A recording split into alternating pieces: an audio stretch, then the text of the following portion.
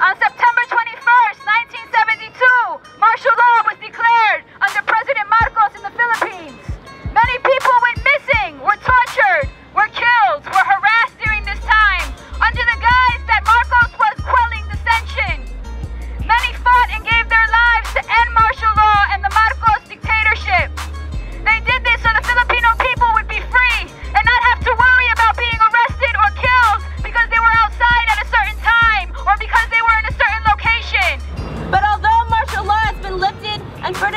Is long dead, Anakbayan New York recognizes that even to this day, the people of the Philippines continue to live under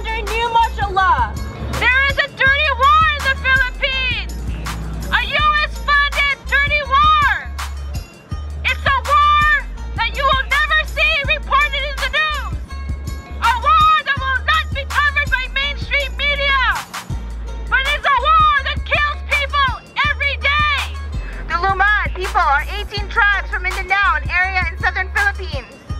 There I had visited a, a school called Alcadev, which was a learning center that teaches children to preserve and defend their lands from foreign corporations and occupation.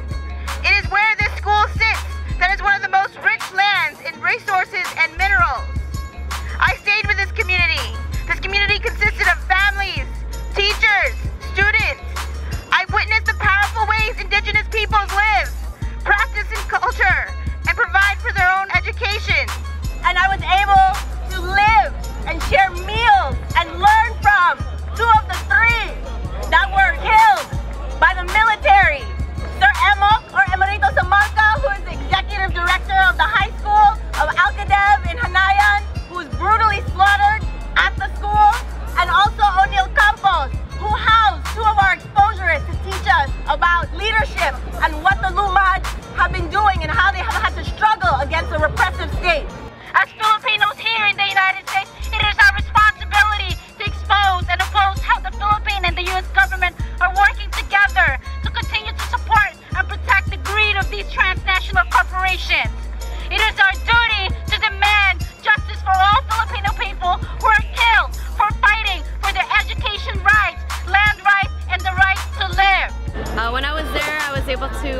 Integrate with the School for Lumad Children and was able to learn that um, not only are they teaching children how to read and write and do math, but they're also teaching children how to farm so that they can go back to their communities and actually practice that and also continue to teach their communities um, how to develop their livelihood. When they evacuate from the mountains where they live down to the city, they, they usually have like no place to stay. They don't really have food and this can last for days or weeks depending on how long the military stays there. Right now, there are more than 3,000 people that evacuated from the communities in Surigao del Sur, and they're all in one small gym.